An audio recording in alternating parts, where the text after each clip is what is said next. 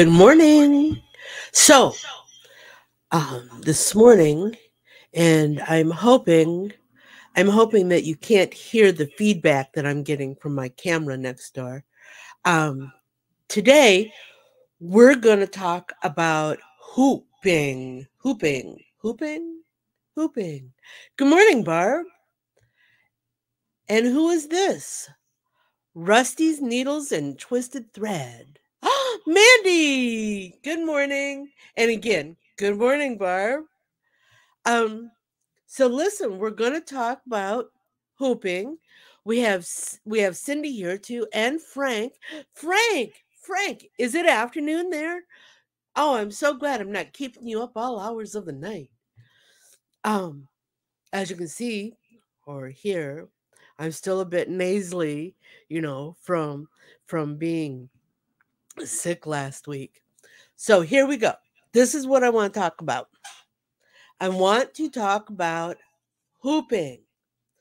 When you buy your first embroidery machine, unless unless you've won the big mega jackpot millionaire billionaire jackpot you can't generally always afford to buy all those fancy things so you work with what you've got Am I better?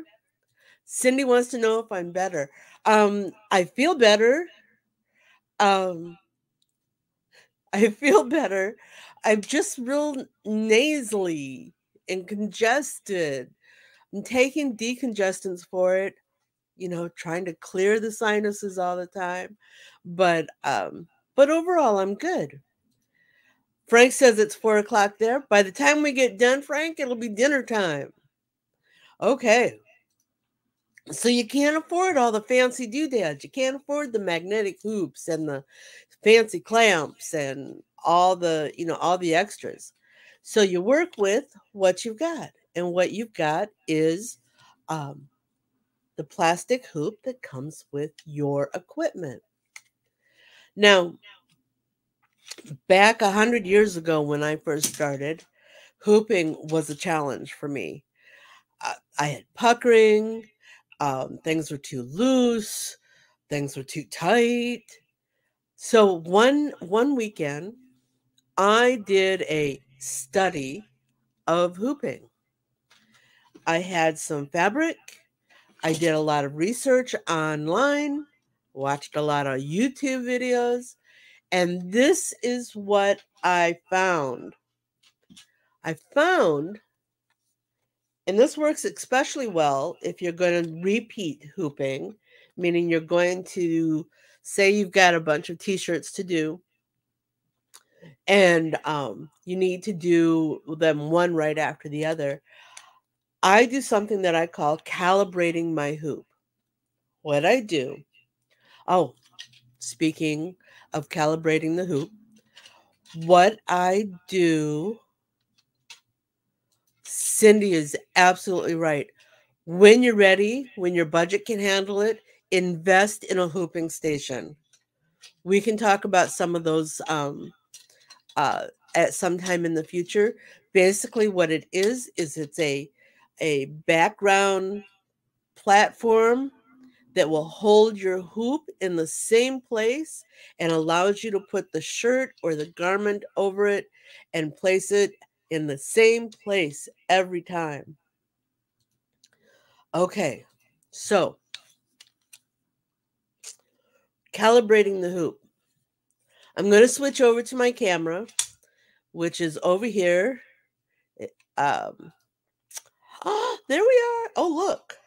Hi. Hello. Okay, so I set the camera up over here Do I have a Viking barb? Yes, I do. In fact, um, I started my embroidery with Brother Machines and then crossed over to the Viking brand because I thought it had a superior stitch quality.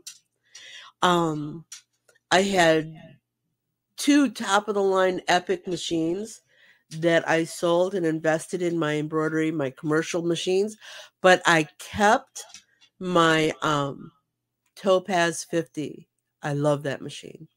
It's great.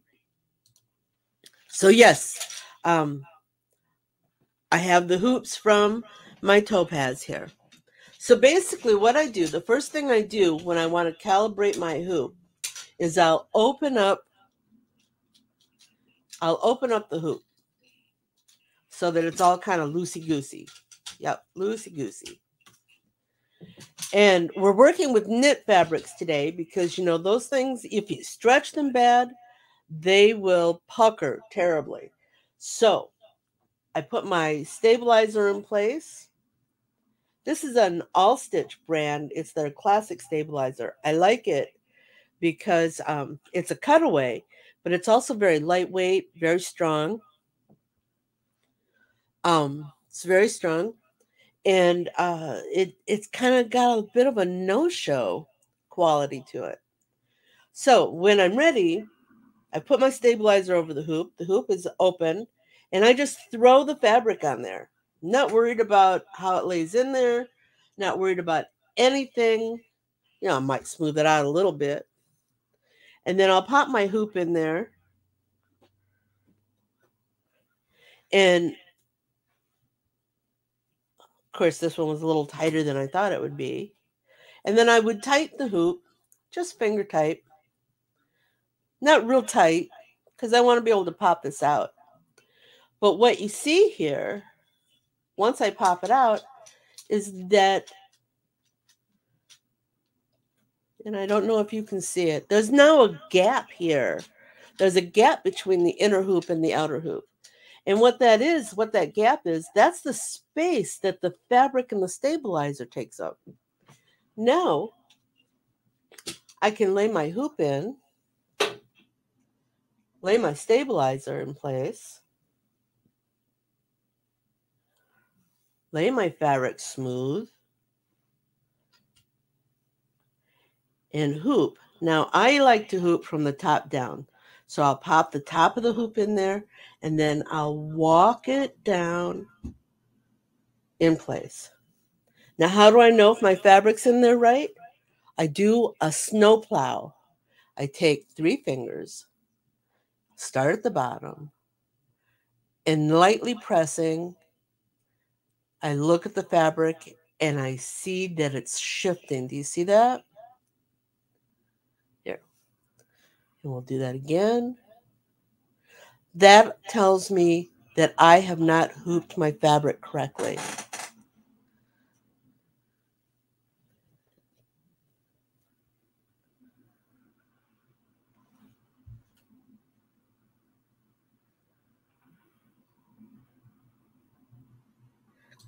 Going back to Barb and her Viking Ruby, she says it's a 20 year old machine and runs like new. It was her first embroidery machine. I know. They are awesome, awesome quality machines. And Cindy, she says that her tech from GSG Supplies tested hooping dry fit polos and that she found that if you press the hoop from top to bottom as opposed to side to side, it's better for not stretching. That is exactly that is exactly right, Cindy. So, we're going to lay this again because remember we had too much fabric inside the hoop. But we don't want to stretch. We don't want to stretch. We want to just make sure that it's nice and smooth. See if we put the fabric in the hoop and we smooth it out and we work top to bottom. I'm going to just pull this a little bit. I don't want to stretch it, but I want to make sure it's positioned correctly. And I'm doing this before I tighten it. Seat it and push. I still have a little bit here, but remember this is a knit. So once I have it hooped, I just tighten it in place.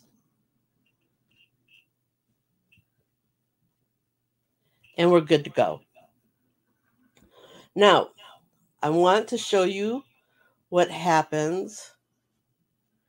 I want to show you what happens um, back 100 years ago when I first started. I would put my fabric in place. I would pop the hoop in place. I would see that it was still all kind of loosey goosey. So I would pull and I would tighten that fabric. Can you see that? I would pull and I would tighten it so that it was all perfectly smooth. And then you know what happens? I would stitch, and I'm using a marker, fabric marker, for um, our simulated stitches.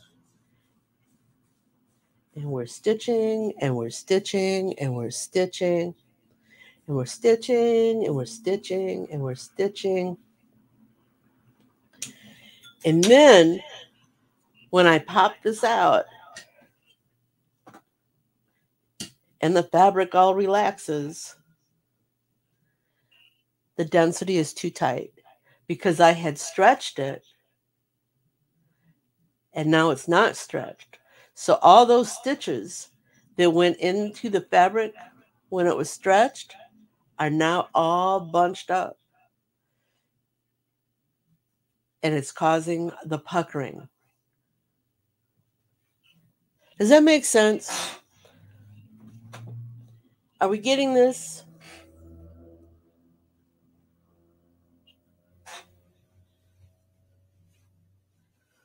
So I lay it in there. Of course, you want to make sure that you actually cover the hoop.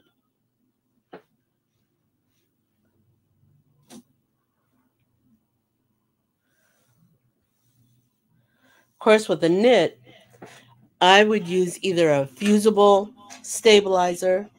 Thank you, ladies. I appreciate the, the feedback. I would use a fusible stabilizer and um, fuse it to the back of my fabric or a light spray a light spray of um, fabric adhesive because you know the fabric the knit fabric is stretch and every time the foot bounces up and down on that fabric it's causing a stretch and a shifting. So the stabilizer with the um, the fusible stabilizer or the adhesive will help secure that. I refer to it as a it, as an like anchoring a boat in a lake. If you have a boat in a lake and it's floating and you throw out one anchor, you might anchor one end, but the rest of it is still going to float. So you anchor another end. You still have some floating, but if you use the um, fusible or the adhesive, you've locked that boat in place.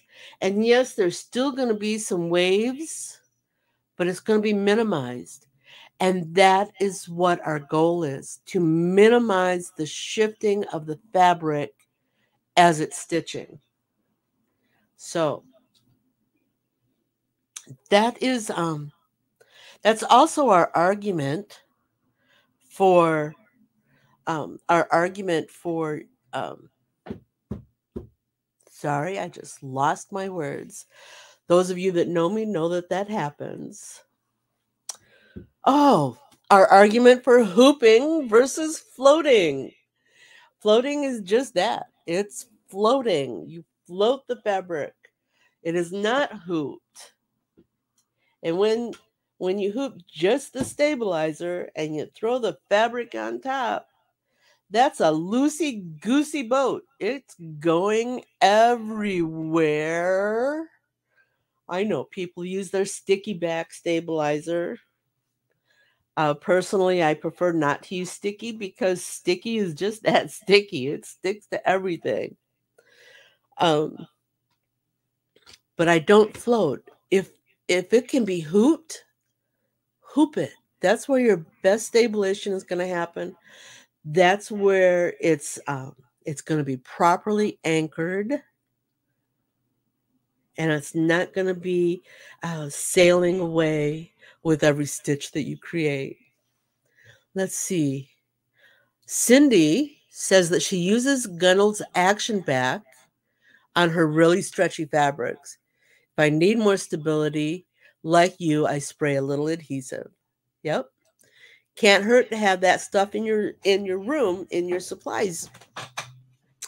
So that's what I wanted to talk to you about hooping until you get to the point and maybe, you know, there are those out there that find no need to invest in those fancy magnetic hoops or clamps or um, you know all those specialty uh, equipment pieces.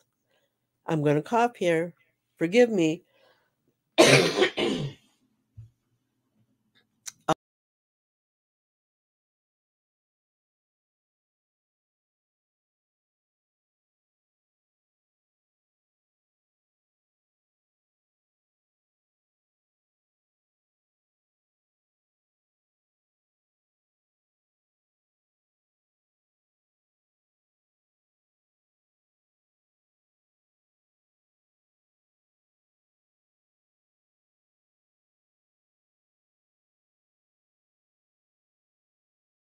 to stream. There I am. Yay! Happy dance.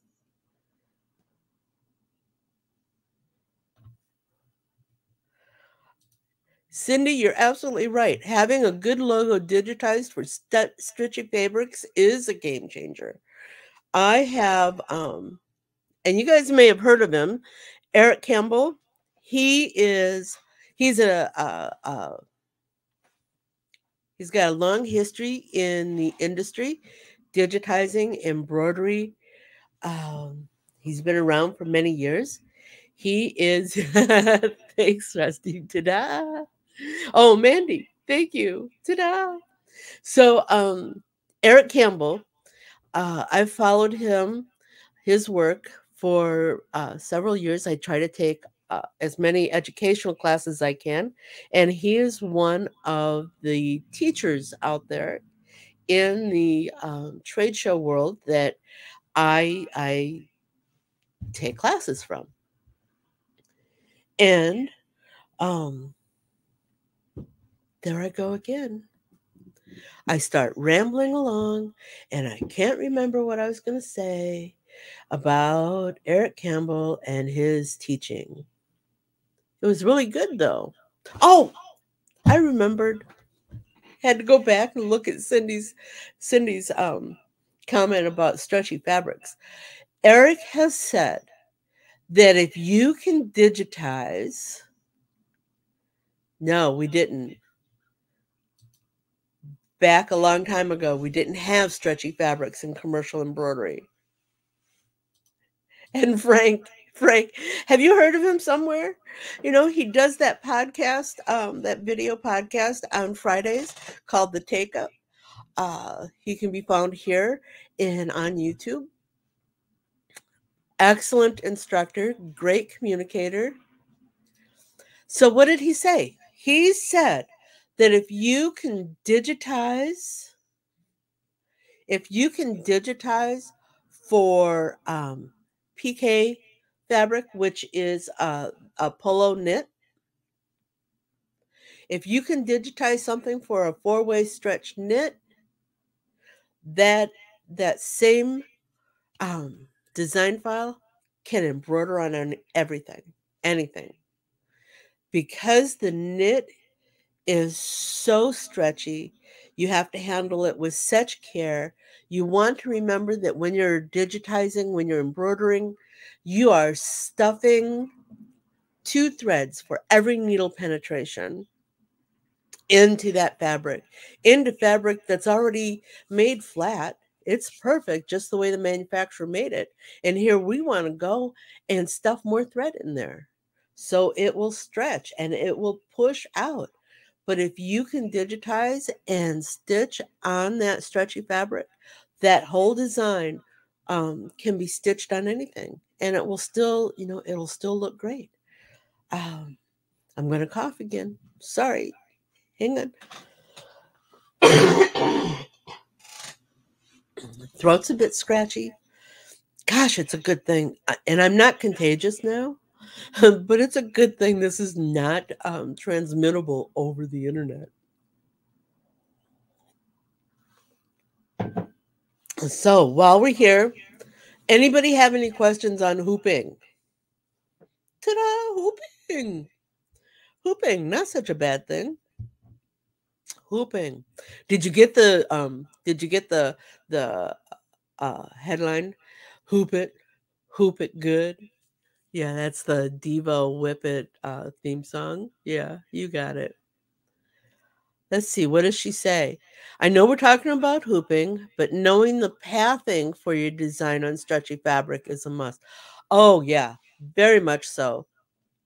When you're digitizing, and where possible, when I digitize, this is what I try to do. I still try to digitize for center out because um because of the push and pull. Hoop it. you like that, huh? Mandy's over there singing um Hoop It to uh Devo's Whip It. I can hear her. I can hear her in my head. So, anyways, um if if you're if you're digitizing for a stretch and you digitize this element way up here and then you bounce back way down here and then you come into the center you are pushing and pulling that um oh woody happy hold on just a second. You're pushing that fabric in and out and back and forth and it's going to pinch and it's going to buckle up and you're going to stitch over the top of it and it's not going to give you the results you want. So when i digitize I try to digitize center out. Now, um, Woody here, and welcome, is asking how to hoop a beanie. Um, I hoop beanies flat. I do um, I do not use a, a round cylinder hat hoop when I hoop a beanie. What I do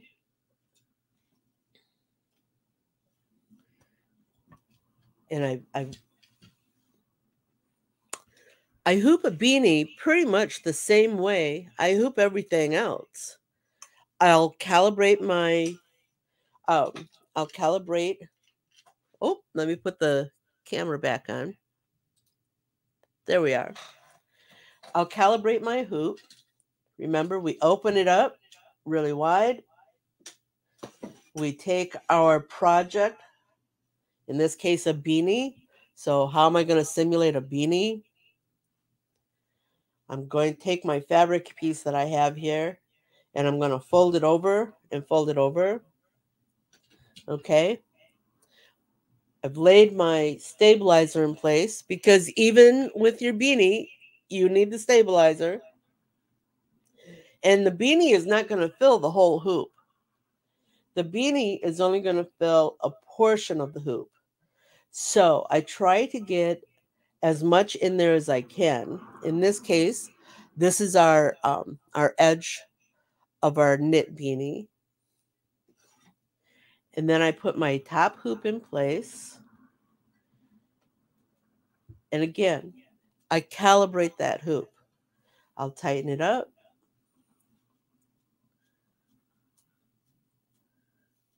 I'll pop it out here. We'll see the calibration. It's still kind of loose. See that?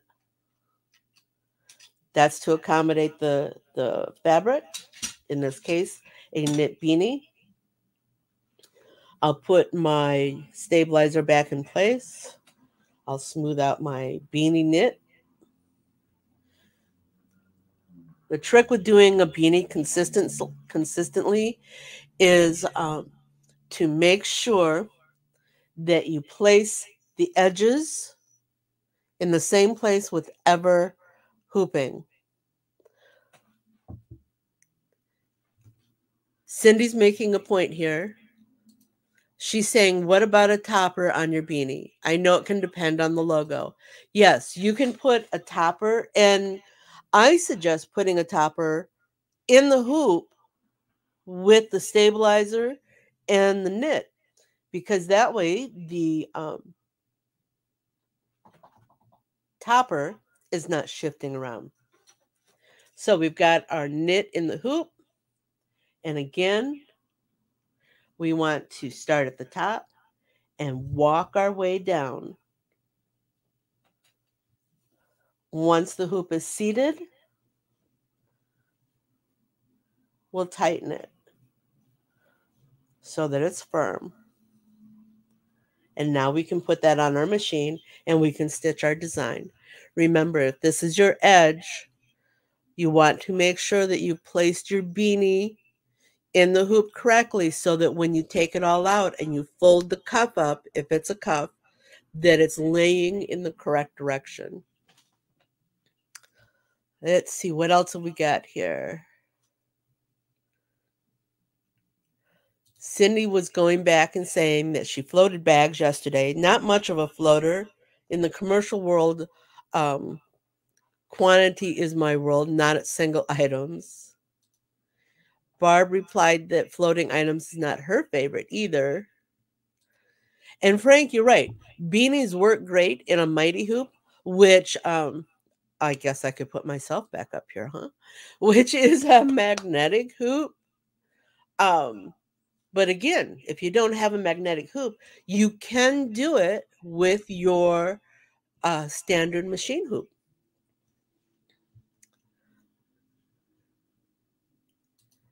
Cindy says that um, floating does slow down production, and it does.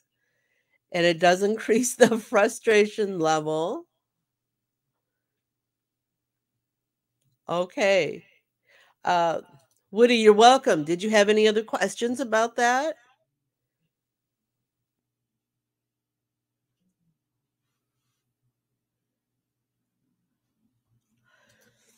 Cindy had um uh, a thought she wanted here. Should you should you already have your hoops set? I know it's different for my hoops, but I thought if you tighten the hoop after, you can change things, and you can. That's why we're calibrating we don't um maybe I missed that part. I use a three turn when I calibrate. I will tighten the hoop tight and then I'll back it off three turns so that when I go back and hoop,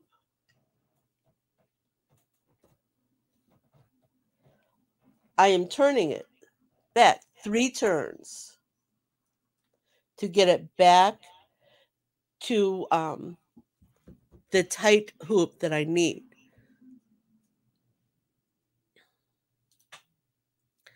You're very welcome, Woody. Anytime you have any questions, just um, find me. I'd be happy to answer. Turn the beanie inside out if they have a cuff. Yes, the yes, exactly, Frank. You turn it inside out. And then um, remember your cuff. This is going to be your fold line. No, I did it again. This is going to be your fold line on a cuff. And it's going to fold over. So you want to make sure that your design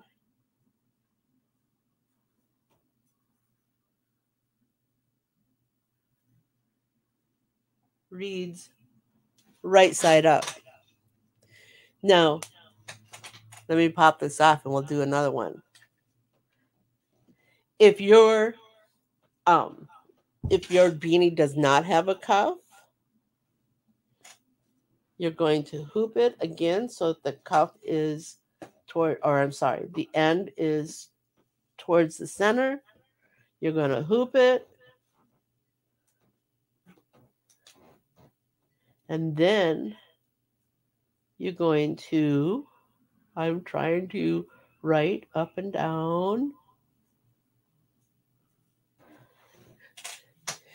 You're going to um, stitch your design upside down.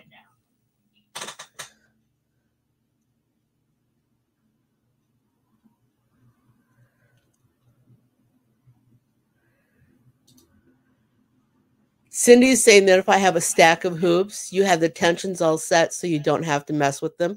Cindy, that would work if you're only ever working with one fabric type. If all I'm ever doing are beanies, then yes, I could have all of them set for beanie. If all I'm ever working on is a t shirt, then yes, I could have them all set for t shirt or cotton fabric, whatever that single fabric is. Whatever that single fabric is.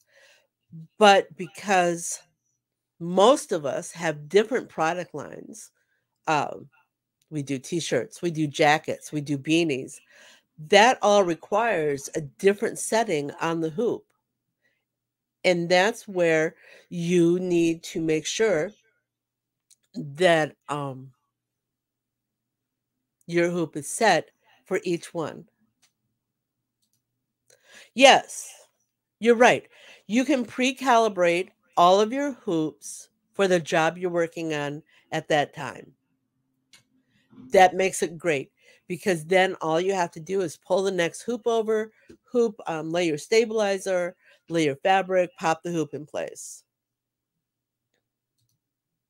Ta-da! All right. So, any thoughts on next week? And here's something I want to um I want to suggest.